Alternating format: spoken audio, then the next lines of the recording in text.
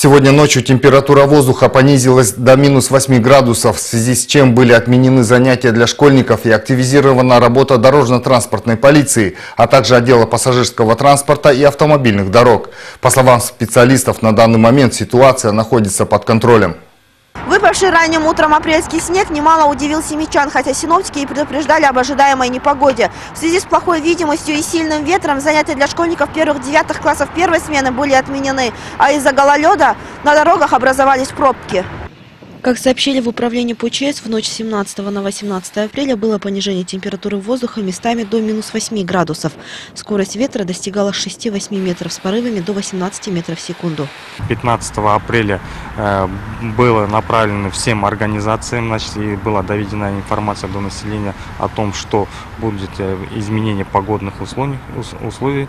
То, что у нас сейчас проходит циклон по Казахстану, то есть э, произвели, значит, оповещение населения путем, значит, смс-сообщений и передачи информации через средства массовой информации. Э, Данные, значит, погодные условия, значит, продержатся э, по прогнозам, значит, интернет-ресурса примерно до середины следующей недели. По словам специалистов управления ПУЧС, ожидается, что сегодня занятия для учеников первых-четвертых классов второй смены будут отменены. Из-за гололедицы уже с утра на дорогах произошли ДТП. К счастью, пострадавших нет. На перегруженных перекрестках работают регулировщики.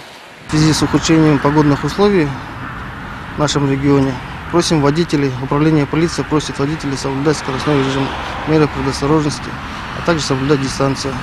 Так как на сегодняшний день, на данный момент, на 10 часов 18 числа, совершено уже 8 дорожно-транспортных происшествий. Однако пострадавших нет. В связи с э, понижением температуры водители едут со скоростью 40 км в час, в связи с чем образовались пробки на дорогах, но силами батальона патрульной полиции. Обстановка держится на контроле. Как сообщили в отделе пассажирского транспорта и автомобильных дорог, с утра на центральных улицах города была задействована щеточная техника. 85% автобусов вышли на маршруты. Ситуация стабильная. В период понижения температуры Управление по чрезвычайным ситуациям просит горожан соблюдать правила безопасности. Пакетгуль Казец, Илья Сабит, телеканал «Семей».